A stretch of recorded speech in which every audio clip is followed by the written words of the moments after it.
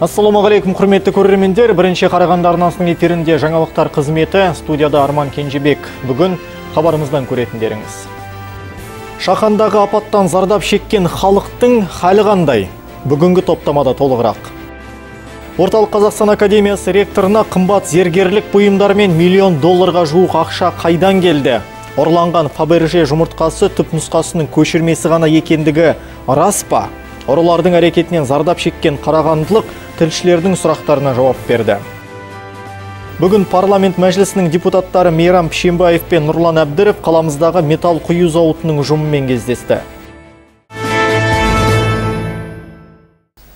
Маңызды жаңалықтардан бастайық. Жылыту қазандығы жарылған Шахан елді мекеніндегі далада қалған тұрғындарға пәтер сатып алына бастады. Қоғамдық қорға жиналған ақшаның арқасында төрт отбасы үйлі болды. Жауапты мамандар ертең тағы бір пәтер сатып алуды көздеп отыр. Ал демеушілердің көмегімен жиналған 122 миллион теңгенің 44 миллионы қайда кетті? Қайғыдан зардап шеккен халықтың қазіргі жағдайы қандай? Мейрамгүл Салқынбаева біліп қайтты.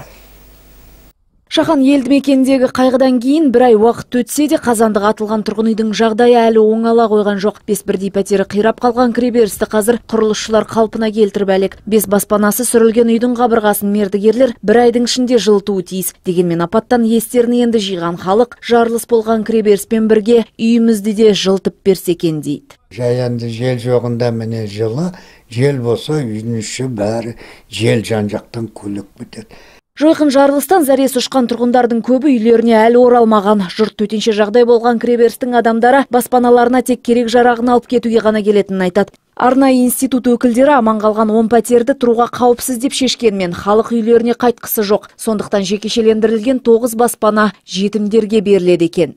На сегодняшний день э, по состоянию на утро э, бір баспана коммуналдық меншікте болған соң оны жалдамалы тұрғын үй бағдарламасы бойынша кезегі келген отбасына береміз. Ал қалған тоғыз пәтерді жетімдерге тапсырамыз деп шештік. Бүгінде үйсіз қалған жанұяларға 16 миллион 950 мың теңгеге төрт пәтер сатып алынды. Зардап шеккендерге көрсетілген материалдық көмек 10 миллион теңге. Қайтыс болған адамдардың жақындарына жеке шығын ретінде 625 мың 876 теңге қайтарылды. Мейрамханада жасалған жерлеу рәсіміне 2 миллион 668 мың 613 теңге. Марқұмдардың тасына 3 миллион 637 660 теңге жұмсалды. Сонымен бір айдың ішінде халықтан түскен 122 миллион теңгенің бүгінде 44 миллионнан артық ақша жұмсалыпты. Оның ішінде тұрғын үйдің қабырғасын жылытып қаптауға 10 миллион теңгеге құрылыс материалдары сатып алынған. Атқамінерлер қалған қаражат автономдық жылу жүйесімен жылынып отырған Шахан елді мекенінің жағдайын жақсартуға кетеді деп отыр. Мейрамгүл Салқынбаева, Төлеген Рашид, Марат Күлтенов, бірінші Қарағанды телеарнасы. Ұрылардың әрекетінен зардап шеккен орталық Қазақстан Академиясының ректоры Бақытбай Жүнісов қылмыскерлер қолды кеткен бағалы бұйымдар мен аса әрі көлемдегі қаржының қайдан келгендігін түсіндірді. Осыған дейін заң ғылымдарының докторының үйінен қымбат зергерлік бұйымдар мен 1 миллион доллардың ұрланғандығын хабарлаған болатынбыз. Жоғалған заттардың қатарында әлемге танымал зергер Фаберженің жұмыртқасы да болғандығы айтылған. Іске қатысы бар үш қылмыскер темір торға тоғытылды алайда төртіншісі әлі іздестірілу үстінде. Хочу особо подчеркнуть друзья мои. Я пришел не оправдываться. Орталық қазақстан академиясының ректоры сонымен қатар облысымызға танымал кәсіпкер бақытбай жүнісов баспасөз отырысын осылай деп бастады. Ғалым ұрылар қолды еткен байлық пен ақшаның барлығы да адал тапқан дүниесі екендігін айтады. Жүнісовтің сөзінше ол 90 жылдардан бері кәсіппен айналысып келеді. Дей тұрғанмен өзі қарапайым отбасынан шыққан. Хотя мне было трудно становление денег нету кризис. Мен қиын қыстау кезеңде кәсіп бастап дағдарысқа қарамастан аяққа тұрдым. 1998 жылы фемиданы аштым. Мен 90 жылдан бастап ұстаздық қызметпен қатар кәсіппен де айналыса бастадым. Екеуін қатар алып жүрдім. 1990 жылдан бері бақтыбай жүнісов мейрамхана кәсібімен және құрылыспен айналысқан. Бизнесмен сарандық танытпай қайырымдылық шараларымен де белсенді айналысқандығын айтады. Ал жеке меншік баспанасынан ұрланған ақшаны шаруа қожалығы үшін жер сатып алу мақсатында сақтаған. Сол себепті де ректор ұрланған жеке мүлкі қоғамда не себепті сонша қызу талқылау тудырғандығын түсінбейді ал. Зардап шегуші жеке бас кірісін академиядағы жұмысымен байланыстырмауды өтінді. Я уже говорил ктк скажем бизнеса. Я вам скажу, друзья мои, 90-е годы, будучи преподавателем, это тогда называлось МЧП, малое частное предприятие. Я его тогда еще открыл. Я еще тогда занимался бизнесом. Преподавательская деятельность не исключает. Төртінші күдікті күні бүгінге дейін іздестірілу үстінде кәсіпкер келтірілген шығын толығымен өтелмегендігін айтады. Ал көпшілік қызығушылық танытқан фаберже жұмыртқасы шын мәнісінде естелік монета болып шықты. Бұдан бөлек заңды салық төлеуші екендігін айтқан кәсіпкер өзгенің ақшасын есептеуді ұнататындарға еңбек етіп өздері де табыс табуға кеңес берді. Алмас мұсабеков жақсылан мақұлбеков марат күлтенов бірінші қарағанды телеарнасы. Жол патрульдік полицейлер қылмыстың ізін суытпай 15 минут ішінде күдіктіні тұтқындаған. Орта жастан асқан азамат жасөспірімнің жеке мүлкіне қол сұқпақ ойы болған. Жол патрульдік қызметкерлері қызмет барысында Қарағанды қаласының ішкі істер басқармасынан қаламыздың ірі сауда орталықтарында тонау болғандығы жайлы хабарлама алған. Қылмыскердің қақпанына 15 жастағы жасөспірім түсіп қалған ер азамат қорқыту күш қолдану арқылы баланың атанасы жолы мен тамақтануына берген ақшасын тартып алған. Бейнебақылау камераларының көмегімен жол патрульдік қызметкерлері жедел жұмыс жасап қылмыскердің бағытын анықтаған. 15 минут ішінде полицей қызметкерлерінің көмегімен қылмысты әшкерелеп жедел тергеу бөліміне тапсырды. Аға сержант оразбековтің айтуынша тергеу барысында ұсталған азамат бұрын соңды істі болған екен. 20 числа заступили на службу по охране общественного порядка. 20 ақпан кезекті жұмыс күні болатын. Біз әдетінше өз қызметімізді атқару барысында болдық. Бізге ішкі істер басқармасынан белгісіз бір азамат кәмелетке толмаған жасөспірімді тонады деген хабарлама келіп түсті. Қылмыскер 15 жастағы баланың 2000 теңгесін қорқытып тартып алған. Қылмыскердің бағытын ала отырып, бір күдікті ұсталынды. Оны жасөспірім таныды. Жезқазған қаласындағы балалар спорт кешені жеке меншік қолға өтіп кетуі мүмкін. Ғимарат үкіметтің жекешелендіру тапсырмасы бойынша екі мәрте сатылымға шығарылған болатын. Шахар тұрғындары 700-ге жуық бала тәрбие алатын спорт нысанының сатылып кетуіне қарсылық білдіруде. Ата-аналар ғимаратты сатып алатын кәсіпкер үйірмелерді ақылы етеді ме деп алаңдаулы. А где вы раньше были? Почему вы раньше не, не, вот это письмо не создали, что вот как это так? СО детского учреждения допустили мы к тому, что она, э, ее в список торгов включили. Мұна әуесқой бейне жазбада ата-аналардың жергілікті атқарушы орын қызметкерлерімен кездесуі көрсетілген. Жазбадан халықтың спорт кешенінің сатылып жатқанына қарсы екендігі анық байқалады. Шенеуніктерді сұрақтардың астына алған тұрғындар ғимаратты балалардың игілігіне қалдыруды сұрауда. Прошло двое торгов детского спортивного комплекса. Теперь вы говорите, что когда вот народ здесь все сидящие, присутствующие, когда мы поднялись, когда уже сердце у нас э, забилось, вы теперь говорите, что вы третьи торги остановите после нашего письма? Жергілікті билік өкілдері мен тұрғындардың келіссөзі барысында жезқазған қаласы әкімінің орынбасары зина ақылбекова жекешелендіру әкімдіктің ойдан шығарған шешімі емес екендігін түсіндіріп бақты. Спорт кешенінің ғимараты жекешелендіру тізіміне үкімет қаулысына сай енгізілген. Алайда жергілікті шенеуніктер облыс әкімдігіне ғимаратты сатылымнан алып тастау үшін хат та жолдапты. Мы обращались и в правительство обращались біз үкіметке де облыстық әкімдікке де спорттық сауықтыру кешендерін балалар спорт ғимараттарын жекешелендірмеу жөнінде өтініш білдірдік. Бүгінгі таңда 2018-2019 жылдары балабақшаларды жекешелендіру тапсырмасы тұр. Біз бұл жолы да балабақшаларды сатылымға шығармау үшін өтініш білдіріп жатырмыз. Шенеуніктердің сөзінше әзірге жезқазғанда спорт кешенін сатып алуға ниет танытқан кәсіпкерлер табыла қоймаған. Мұны екі мәрте өткізілген аукционда растап отыр. Ал ғимаратты жекешелендіру тізімінен алып тастау үшін тағы да үкіметтің тиісті шешімі керек көрінеді. Қазақстанның үшінші жаңғыруы жаһандық бәсекеге қабілеттілік. Дәл осылай аталатын елбасының жолдауын Қарағанды шенеуніктері қызу талқылады. Отырысқа қатысқан мемлекеттік қызметкерлер дамудың жаңа кезеңіне өту жоспарын қарастырды.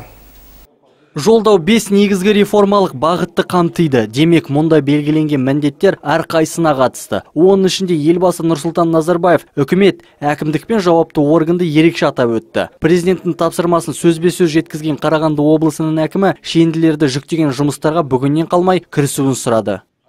Это ускоренная технологическая модернизация экономики.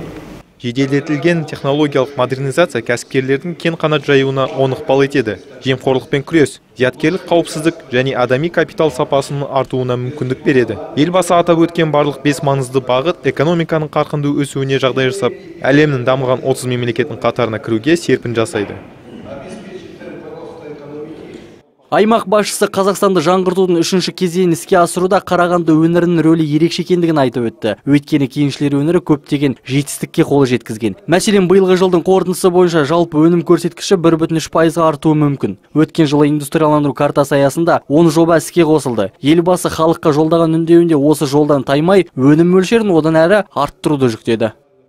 Глава государства говорит о том, что мы должны развивать перспективные отрасли, такие как 3D принтинг, мемлекет басшысы болашаққа бағдар жасау үшін онлайн сауда ұялы банктер және сандық құндылықтарды жан жақты қолдау мен инновацияларды жылдам дамыту керек екенін айтты. Қарағанды аймағында барлық қажетті қуатты өндірістік базалар мен жоғары ғылыми әлеуеті бар ма? Осыған байланысты өнеркәсіп басқармасына технопарктермен бірлесе инновациялық орталық кеңесін құруды тапсырамын. Өңірлік кеңселер аясында инновацияға жол картасын құру бойынша тапсырма енгізілсін.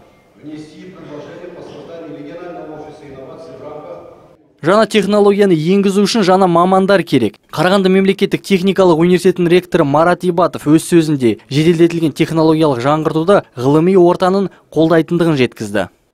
Подготовка конкурентоспособных специалистов для формирования новой индустрии жолдауда айтылған жаңа индустрияны қалыптастыру мен сандық технологияларды дамыту бәсекеге қабілетті мамандарды дайындаумен тікелей байланысты. Нарық талабына сай мамандық стандарттарын жаңарту және өндіріс орындарында оқытудың әлемдік тәжірибесін енгізу керек.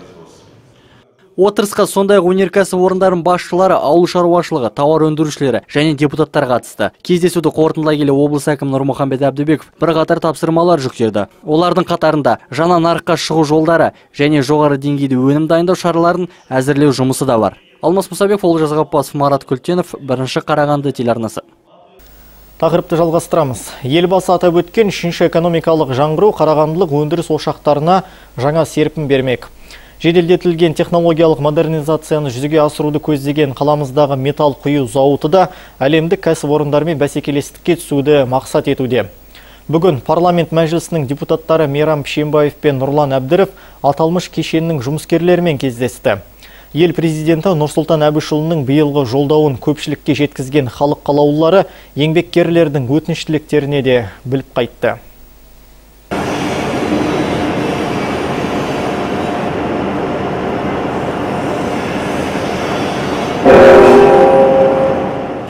Қарағанды металл құю зауыты бүгінде толық модернизациядан өткен. Атап айтқанда, мұнда сандық бағдарламамен жұмыс істейтін станоктар, металл өңдеу құрылғылары түгелдей су жаңа. Чехия, Корея, Германия, Ресей мен Түркиядан жеткізілген көрінеді. Өндіріс ошағында білікті мамандар да жетерлік. Бекболат Ширақұл Ресей мемлекетінде екі жыл инженер-технолог саласы бойынша білімін жетілдіріп келген. Темір құю кешенінде аталмыш сала бойынша жұмыс істегеніне үш жүзі болыпты. Еңбек еткеніне аз уақыт болса да жұмысын жіті білетіндігін айтады. Яғни елбасының жолдауына келер болсақ елбасының жолдауы біздің өндірісіміздің дамуына үлкен септігін тигізеді деп ойлаймын.